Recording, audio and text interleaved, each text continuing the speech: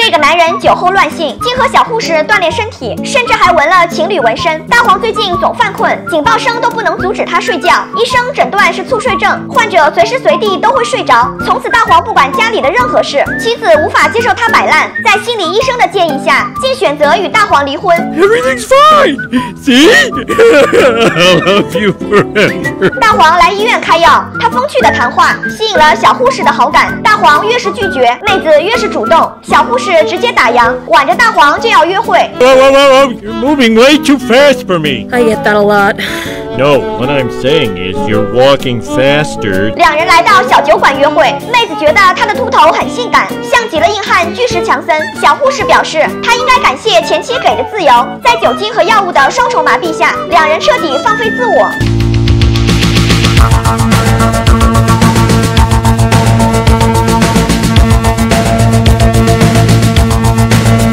来时竟发现铸成大错，大黄不知如何向马姬解释。突然发现妹子大腿上方有条蛇，小护士表示那只是纹身。大黄要跟前妻通电话，即便两人已经离婚，妹子生气的离开。电话拨通后，大姨表示马姬已经出去约会了，大黄跟妹子正式拍拖。朋友们不理解为什么美女会喜欢上大叔，是有钱还是活好？No.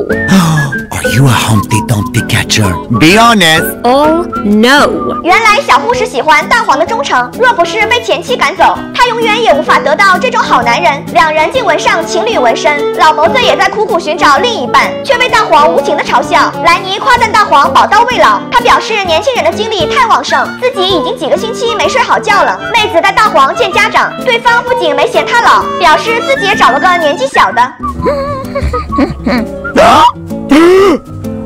Waiter, champagne?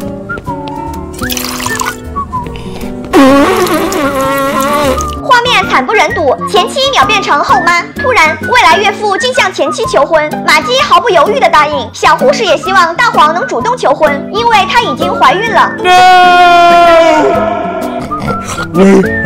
What am I doing here? 原来这一切都是梦，他们还在心理咨询室。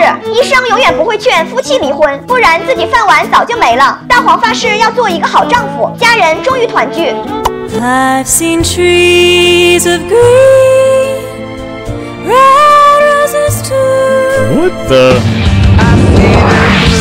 原来刚才的才是梦，大黄确实跟小护士在一起了。他连忙跑回家查看，未来岳父代替了自己，他失去了马姬和孩子们。